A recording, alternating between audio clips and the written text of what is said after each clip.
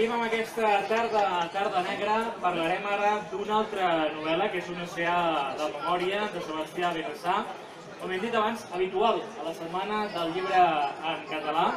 Avui presentarà una novel·la que s'ha publicat fa res, eh, molt pocs dies. És una de les novel·les que es presenten en aquesta setmana del llibre català, publicada per el Gall Editor.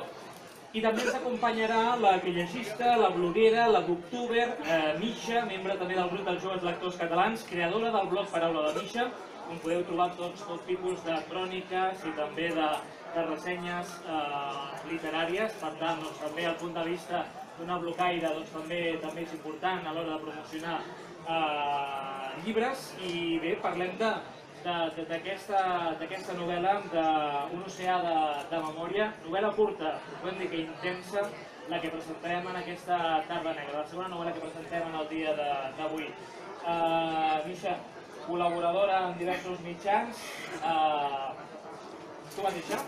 Sí, sí, com has presentat molt bé, exacte, participo al Fòrum que llegeixes des de fa molts anys. M'encanta fer ressenyes, és una de les coses que em fa més feliç precisament perquè puc encomanar a la gent, animar la gent a sumar-se al món de la lectura. Molt bona tarda a tots, espero que gaudiu de la presentació, per cert, i sobretot que us deixem ganes de llegir el llibre. Uh, doncs començarem parlant breument de, de la ressenya, el que podem trobar en aquest llibre d'un oceà de memòria, tot i que després el Sebastià ja ens tindràs explicant. Sebastià, no t'he presentat encara. Bona tarda, Sebastià. Bona tarda, moltes gràcies. Com he dit abans, un dels clàssics, un dels habituals, i a més que participes activament al Setmana del Llibre en Català. No només presentar les teves novel·les, sinó també en diversos actes. Clar, Us faràs triplet avui. He dit triplet, però no triplet perquè al final a la festa del triplet també hi seràs. Sí, uh, bé, jo penso que, que en definitiva el que es tracta és que la literatura catalana vagi, vagi bé per tothom, no? Els èxits d'un escriptor concret són els èxits de tots. Si algú li va molt bé i té un èxit fora, eh, segur que ens anirà molt bé a tots els altres, arrossegarà i per tant s'ha de ser a la setmana per sumar sempre i evidentment per, per també presentar les novetats i arribar a tot dius, no, una novel·la calenta, calenta del forn, però perquè és, aquesta és una cita important a dins del calendari de, de l'any. Sí, perquè abans les novel·les es publicaven a principis de setembre, ara ja a finals d'agost ja comencen ja a sortir. I espera't, perquè si això s'avança una mica més, no faran vacances els editors. Nosaltres tampoc podrem fer vacances. Uh, Misha, explica'ns una miqueta de, de l'argument d'aquesta novel·la d'en Sebastià. Mm, bé, uh, la veritat és que us animo a que llegiu la sinopsis del llibre, perquè jo quan, quan, la vaig, quan la vaig llegir em vaig quedar d'allò més intrigada. Ens en fas 5 cèntims, Jordi, què et sembla? Mira, la, la novel·la Negra nit a Lisboa. Un professor universitari rep una trucada, una oferta laboral. Uh, si l'accepta, haurà de tornar a casa seva, a les Açores, aquella illa coneguda per aquell trident de polítics, però que té moltes més coses a nivell cultural que el Sebastià també ens explicarà. Uh, rep aquesta oferta per anar a les Açores, on van marxar a final de la dictadura portuguesa i on mai no hi ha tornat. Si la refusa, l'espera la ruïna econòmica. Té una nit per pensar-s'ho. I potser l'única dona que ha estimat a la vida a l'altre costat del fil telefònic que és qui fa la trucada en aquest professor universitari. En aquesta intensa, com he dit abans, però novel·la breu, Sebastià Benensà ens endinsa en els misteris de les decisions extremes. Un dia ha de decidir què ha de fer en el seu futur. Ambientada entre Lisboa i les Açores, aquesta obra universal ens ens comenta també la dicotomia entre les illes i els continents, entre els comportaments insulars i peninsulars, i també, evidentment, indaga la memòria contemporània dels drames europeus utilitzant, doncs, evidentment, l'alta literatura. Oi que sí? Exacte. T'he demanat que la llegissis perquè la ressenya que vaig escriure, que he escrit jo sobre una sèrie de memòria, precisament comença parlant sobre sinopsis, sobretot sobre aquesta que em va deixar d'allò més intrigada. Si no us fa res, m'encantaria començar la presentació llegint-la. I la llegeixo per no perdre cap detall, i si no, és que si no, no me'n recordaria. Espero que en gaudiu. Normalment, les sinopsis dels llibres són com espiells per als els lectors podem donar una ràpida ullada al que ens espera a les seves pàgines. N'hi ha de diverses menes, fins i tot de hi ha dels que engrandeixen i distorsionen el que ens espera a l'altra banda. Però en general mai sabem del cert si gaudirem obrint la porta a certes històries fins que no ho concloem nosaltres mateixos. Tot i així, trobo que la sinopsis d'un oceà de memòria és allò més adient, perquè el llibre que tinc a les mans és certament una obra universal. Tot i que la història és centre cultural, com molt bé has dit, Jordi, es pot extrapolar fàcilment a qualsevol nació que hagi estat trepitjada per la història i, encara, i que encara se n'estigui curant les ferides. És emotiva i bonica. I sota la història d'un professor que torna a casa s'amaga molt, molt més. Des d'un principi, la narració t'atrapa, poètica, però lleugera i propera a la vegada. I el format del llibre, un sol paràgraf per capítol, és molt curiós de llegir. Els diàlegs intercalats intermissa els pensaments i records. A través de les paraules, Benassar embasta emocions i pensaments en un complex tapís que acaba per semblar-nos meridianament clar. Aquest fet hi contribueix l'ambientació, molt ben aconseguida, ja que descriu amb facilitat els aires que respiren a les Açores i Lisboa, a més a més de regalar-nos una pila d'anècdotes i curiositats sobre elles.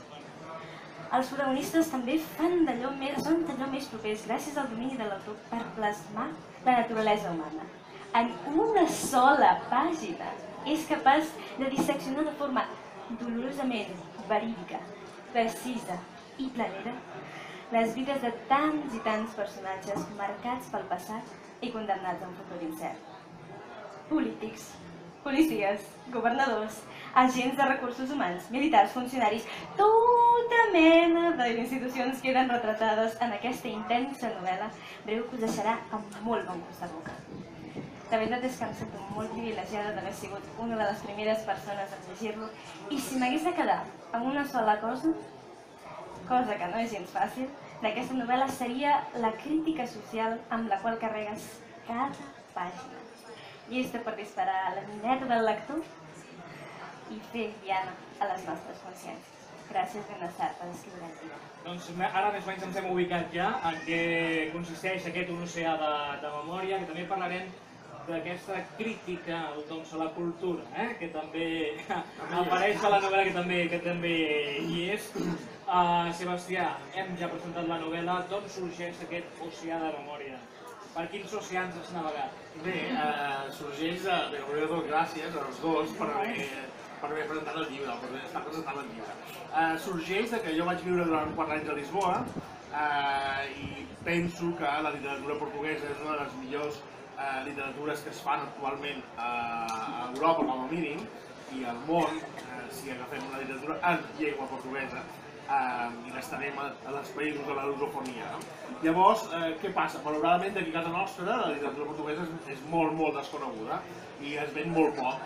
Eh, si mireu a França, la immensa majoria d'escriptors contemporanis eh, portuguesos, de la, de la meva edat o una mica més grans, tots són eh, Chevalier de les Arts Llet, eh, perquè a França eh, la literatura portuguesa té molt de reconeixement. Aquí hi ha molts pocs llibres traduïts, però, per exemple, si agafeu un autor com, com Josep Luis Peixoto, es passa 270 dies de la seva vida fent promocions dels llibres a l'estranger. Eh? Vull dir que és un tio que, que té un èxit mundial. Aquí hi ha un llibre traduït al català.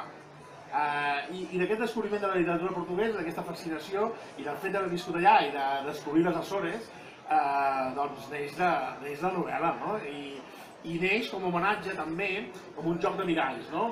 Si agaféssim aquesta illa de les Açores, que jo, que és, que és la capital, eh? Um, i, i la comparéssim amb Mallorca, val? llavors podríem fer un joc de miralls. Potser eh, les realitats que es diuen a un lloc i un altre són les mateixes, i el llibre també és un homenatge a dues persones molt importants a la meva vida literària, que són Antoni Figuera, el meu professor de literatura de l'institut. Eh, quan, jo tenia, quan tenia 15 anys, doncs ell ens va fer llegir Cortázar i ens va fer llegir eh, coses d'aquestes de veritat, i, i això va ser per mi un descobriment absolut. I el Toni Serra va ser el primer escriptor que va venir a l'institut a fer-nos una conferència, és un senyor de 81 anys, és insubornable dins la literatura, fa novel·la negra, assaig, eh, contes, novel·les experimentals, etc etc. i d'alguna manera els dos hi són. M'ha agradat això de coses de veritat, eh? Llegir coses de veritat. Sí, és que una cosa, no, no tot, jo ho dic moltes vegades, ho dic cada any quan estic aquí dalt. No tot el que està entre dues tapes és un llibre, i no tot el que està entre dues tapes és literatura. Tenim ja el titular de la tarda, eh? Exacte. Això és important. I, I una pregunta, com se't va acudir el format d'escriure un paràgraf per capítol, és que a mi em va sorprendre molt gratament. si vols que et digui la veritat, no se'm va ocórrer.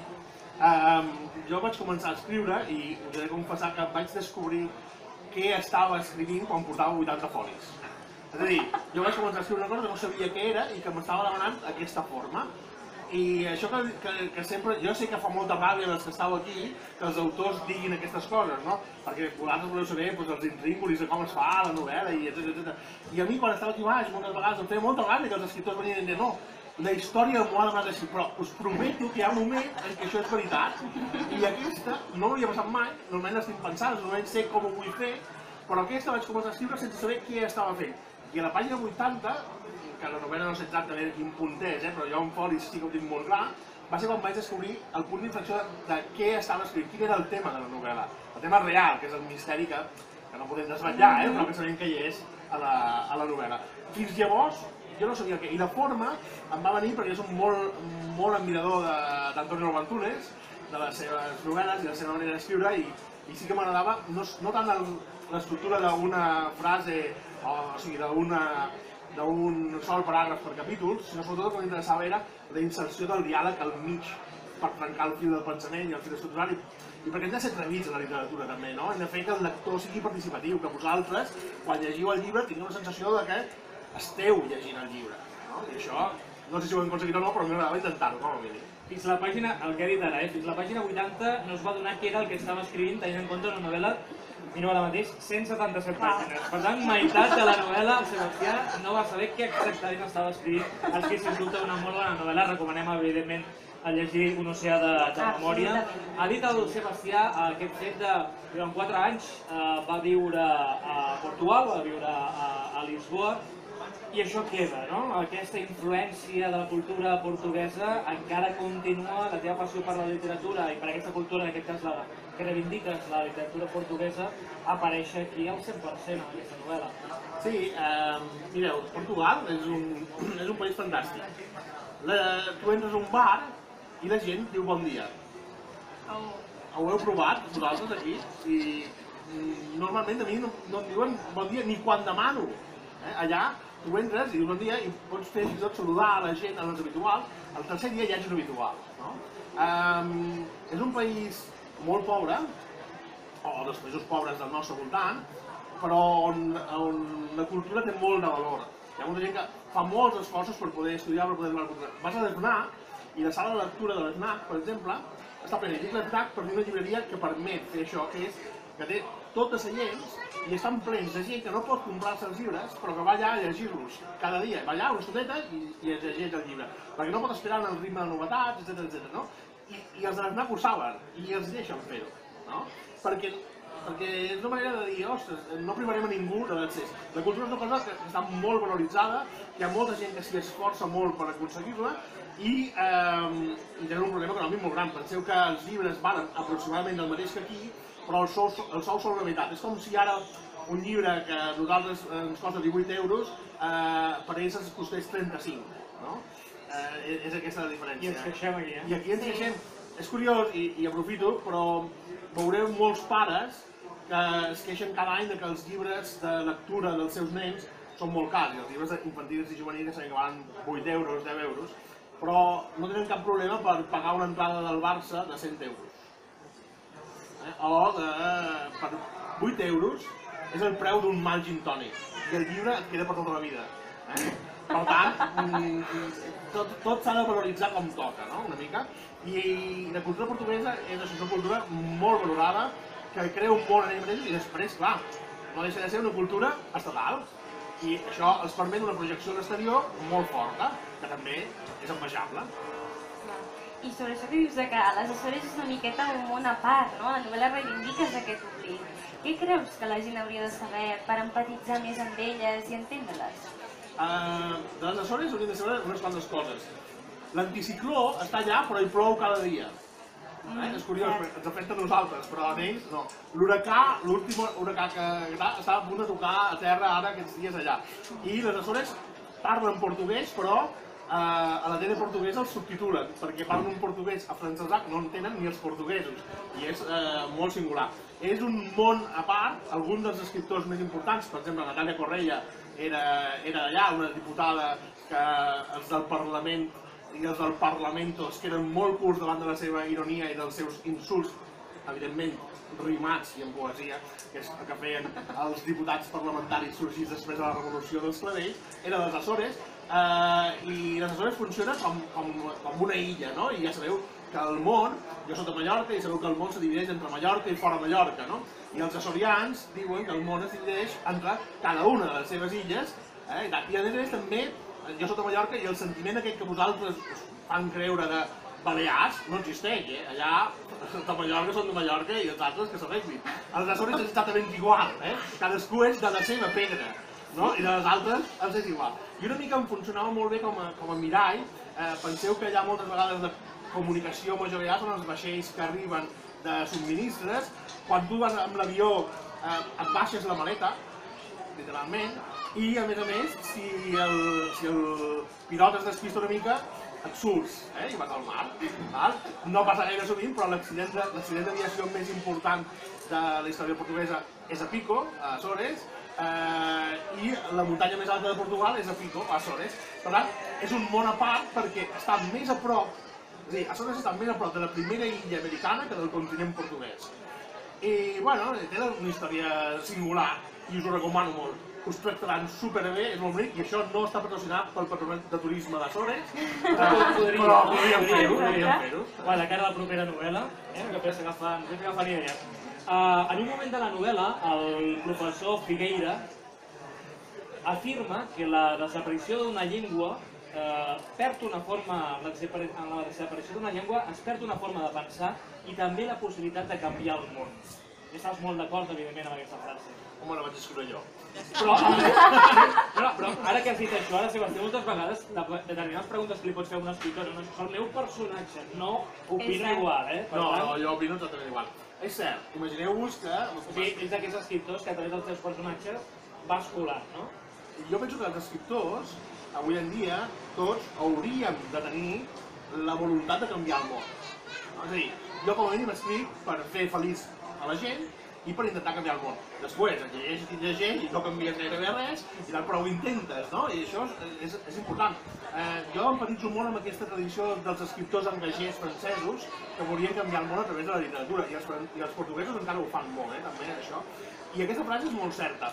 Imaginem-nos que eh, s'extingeix una llengua eh, de l'Amazònia, cosa que passa molt sovint, eh? es, es moren els últims parlants, no hi ha hagut transmissió i es mor. Potser, potser aquest pensament, aquesta manera de pensar, era la que tenia la clau per treure'ns de la crisi econòmica que estem vivint ara. El que passa que mai els havíem volgut escoltar, mai havíem volgut temps, no? I a més penseu una cosa, només podem dir t'estim en la nostra llengua materna. I cada vegada que es perd una llengua es perd una manera de dir t'estim. I jo penso que l'amor és un dels grans motors de la civilització. Per tant, cada vegada que perdem una llengua perdem una manera de dir t'estim. No? I llavors estem eh, perdent un patrimoni que és de tots. I jo penso que és una tragèdia que, a la qual no li prestem atenció, eh? És que aquí al costat han aplaudit i tot, eh? És, és que estem coordinats, ens, ens he subornat. Més frases. Sí, parlant de frases que també deixen marca, hi ha una que m'ha agradat molt, eh, un dels personatges del llibre, que diu Puc saber molta literatura, però saber-la explicar és tot un art. Mira, m'agrada tant que l'he deixat i tot a la caseta de la Institució de Lletres Catalanes, que pot deixar, pot deixar frases, posem-ho a fer-ho, doncs l'he deixat perquè m'ha agradat molt. Creus que ens fan falta més professors Figuera que estimen ensenyar i saben transmetre la passió per la literatura als joves? Per descomptat, mireu, la universitat ara hi ha el gran debat entre escriptors, que, eh, escriptors, professors que es dediquen a la recerca i professors que es dediquen a la docència. Quan aquest debat no hi hauria de ser-hi, no? Vull dir, hi ha professors que els agrada molt la recerca i odien la docència, doncs que facin només recerca. I hi ha professors que només els agrada la docència i no els agrada la recerca, que facin només docència. Penseu una cosa, els millors professors, com els entrenadors de bàsquet, no haurien d'estar a la universitat. Els millors professors han d'estar en els instituts. És molt fàcil ser el Luis Enrique i dirigir el Barça. Si a mi em donen els mateixos jugadors, sense saber gaire de futbol, no garanteixo que guanyi la Lliga, però no baixaré del cinquè o sisè lloc. Val? En canvi, si tu agafes a Luis Enrique i el poses a dirigir una escola de futbol, no sé si se'n sortiria.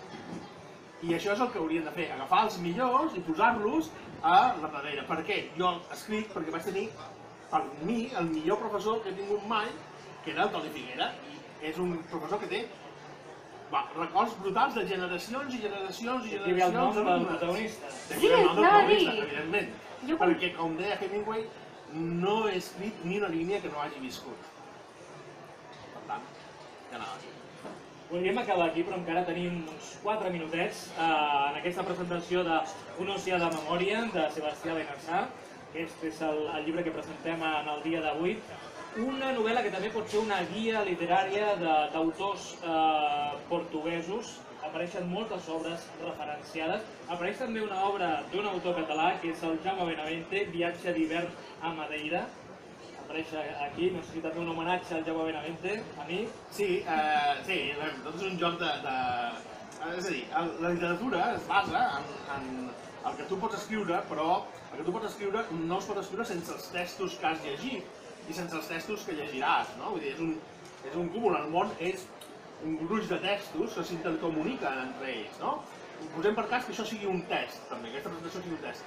I, i posem una, una acte d'imaginació encara més gran. I si realment nosaltres, si existeix un ésser superior, que no ho sé, eh? però fossin només els personatges d'aquest ésser superior que està fent metaliteratura i que està escrivint sobre la presentació de la Setmana de Llibre Català, d'uns tios que, que parlen d'un llibre de Portugal, no? Tot seria un text de textos, no? I m'agradava molt doncs, doncs, fer homenatges per, per dintre, perquè en els amics es tracta de, de mantenir-los i de cuidar-los. Els escriptors portuguesos eh, fan referència al Gonzalo Tavares. Eh, T'haig de donar una bona notícia. Ser de venir cap aquí, he parlat amb l'Aniol, de l'editorial Periscopi, l'editor. Sí, jo també. Eh, L'he comentat de que, bé, que faríem la presentació de la teva novel·la Li he venut bé, eh? Sebastià.